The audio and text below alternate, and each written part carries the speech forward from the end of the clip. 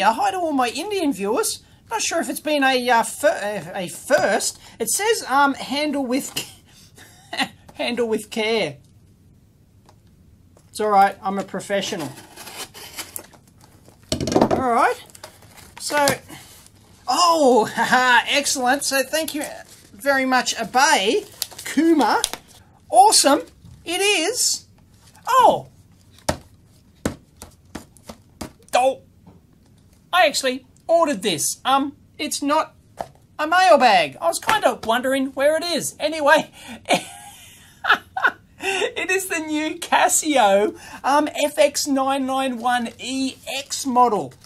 Not to be confused with the other models, it's the brand new one. It's just been released, and um, yeah, I was wondering where it is. It's like been sitting here. It's probably been sitting here for a while. Um, yes, this is not a mailbag. So, um, yeah, uh, Bay, he's not a viewer. It's pretty sexy. Um, it's got um, some uh, engineering. It's got like engineering display on it apparently. So we'll take a quick squiz at it. And isn't that funky looking? That's the FX991EX. Um, they actually announced it, uh, was it last year? I don't know. It was a long time ago in a galaxy far, far away.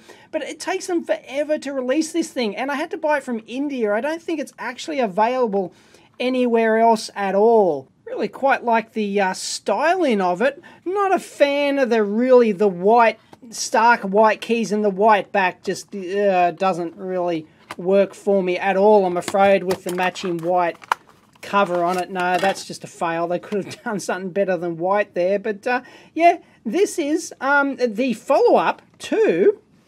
Let's put them side by side, shall we? This is the follow-up to the FX991ES model, which I've had for a couple of years now, and this is the um, this is the brand new version, and substantially different in terms of the uh, screen. This one has a much higher resolution uh, screen and can do some more stuff that the old ES model couldn't. And yes, this puppy is solar powered, famously low power consumption in the uh, Casios, of course. Can we have a look at the uh, specs there? What does that say? Usually tells you the power. Oh, it doesn't. Usually it says, you know, 10 femto watts or something ridiculously low. Anyway, it's got one uh, LR44 battery in it and high-res display and it can do everything uh, including the kitchen sink I suspect. So there you go. It's got spreadsheets. There's no like enter button here. We have to actually hit the number there uh, on the keypad. So we can do spreadsheet functions. We can do distribution uh, functions. You can do oh, just everything. Look at that. Fantastic. We can do oh, how do, how do we get back to the menu? Ah, oh, fail. Come on. There we go. There's more stuff down here too. Oh, look at this. It's ridiculous. And we can do uh, statistics. There's all sorts of stats stuff as well. Look at that. Really annoying that it doesn't seem to be like a back button there. And if you hit the menu button, it doesn't really, doesn't really do it.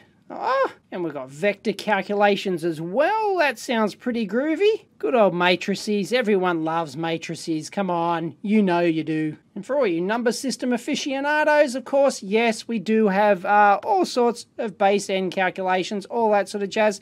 It Yes, it does have uh, decimal hex binary octal directly on the uh, keypad. Beauty. And my favourite, complex numbers. I love complex numbers. Woohoo! We're in complex number mode terrific. But the thing is, like, you go into menu here and it gives you this, like, and you can't select it with the enter key, and they didn't actually put the overlays on here. So if you want to go uh, back to normal mode, of course, you've got to uh, go in here and then hit, you know, uh, menu one, basically, and we're back in regular mode. You know, menu seven will take you into distribution mode. I, you know, just come on, put it on the keys. Anyway, one thing it does have, if you press the option button here, you can go into engineer symbols. Sounds a bit chinglish, doesn't it? So we can go into engineer symbols and we can select our engineering symbols, which is nothing new. Uh, a lot of Casio calculators actually have, you can do, um, you know, uh, function shift and then they'll have the engineering units directly on the keypad here, and that was really good. So if you wanted to enter, you know, pico, you wouldn't have to go, uh, you know, 1 times 10 to the power of, whoop, sorry, can't see everything. You wouldn't have to go 1 times 10 to the power of uh, minus 12. And look, look it, it, doesn't do it. You've got to do it in the right order. This is this v visually perfect algebraic method. Rubbish. I prefer the old Casios, but this thing is ridiculously powerful though. And it does everything like graphically as well. So you can go in here and you can go shift differentials, for example. There we go. Look at that. Go enter everything. Bob's your uncle. Likewise, the same thing with integrals as well. Fantastic.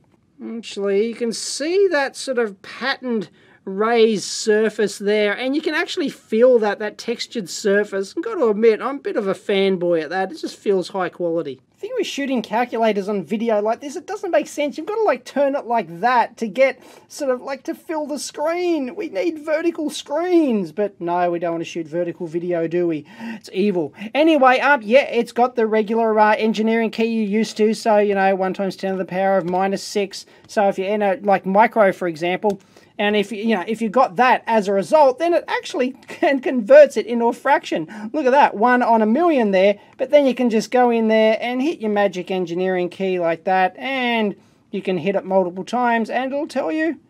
Look at that. No problem whatsoever, just like regular Casio stuff. So the higher resolution screen, one of the highlights of this thing, it's four times the resolution of the old one. It's 192 by 63, which doesn't sound like a, a lot, but it uh, adds up. And if you look at a 3 by 3 uh, matrix like this, you can really see the difference of the amount of uh, data that you can uh, fit, you know, just the resolution of the text and amount of data and stuff you can actually fit on the screen. It's much, much better.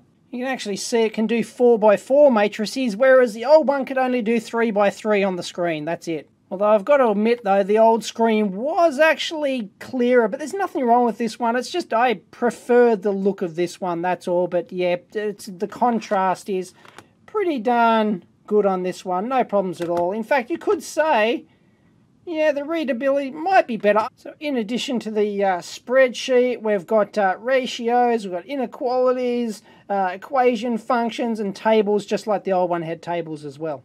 And one thing of interest to us, of course, if we go into the setup here, we can set up our engineer symbol, um, engineering symbols on. Thank you very much. So it'll now give us results in, uh, so let's do 1 times uh, 10 to the minus 6 again. And it should now give us one micro.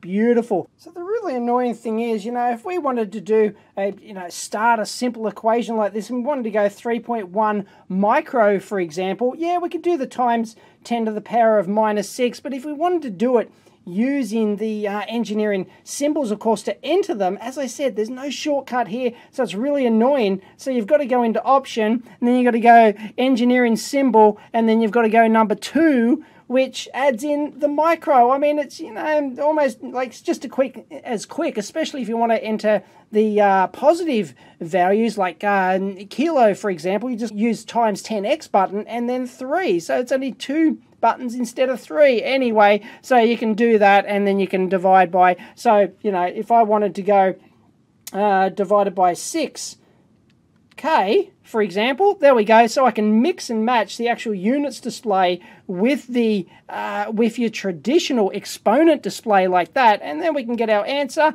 Bingo, 516 puff. Thank you very much. And I do like the multi-line display, how it actually left your equation up here for you to double check that you actually entered the right thing as well as giving you the answer. Fantastic. So anyway, I can't turn this into a review because this thing uh, will go on forever. This thing does everything, including the kitchen sink. And I know there's a lot of people out there who don't use calculators anymore. Oh, I got my phone, always got my phone with me. Uh, screw your damn phone. It takes too long to turn on. What if it's not charged? What if you put it somewhere else? It's ridiculous. You can't beat having a proper calculator on the desk. And I've got like six calculators here in the lab or something. One's always within uh, reach. And if you want a super powerful one, I personally don't prefer I, as I've said many times, I prefer the old pre-VPAM stuff, uh, the Casio um, interface format, but this is the visually perfect algebraic method, so you can't just go 5 and then sine, for example. It's the wrong way around like that. You can't just do that. It'll actually give you a syntax error. You've got to do sine first, like you're actually writing the real equation. I don't know. That's just not the way I was brought up to use Casio calculators. Anyway, meh. But the great thing is, it's always available instant on never crashes, never requires an operating system upgrade, solar powered, it'll last forever, don't have to worry about the batteries running out. It's just, it's brilliant. And it costs, I think it's like 25 bucks on eBay or something, plus postage from India. It's absolutely crazy. I'm not sure when it's uh, going to be available in uh, local uh, markets, but anyway, I had to buy this sucker from India, but it's it's dirt cheap. It's absolutely amazing. The amount of stuff this thing can do. I could do an hour review of this and still wouldn't be able to cover everything. It's just nuts. Anyway, I'll link in some videos uh, down below. But anyway, it's a nice upgrade from the 991 ES. If you've already got the 991 ES, would you want this one? Eh, yeah, why not at the price? Eh, can't have too many calculators.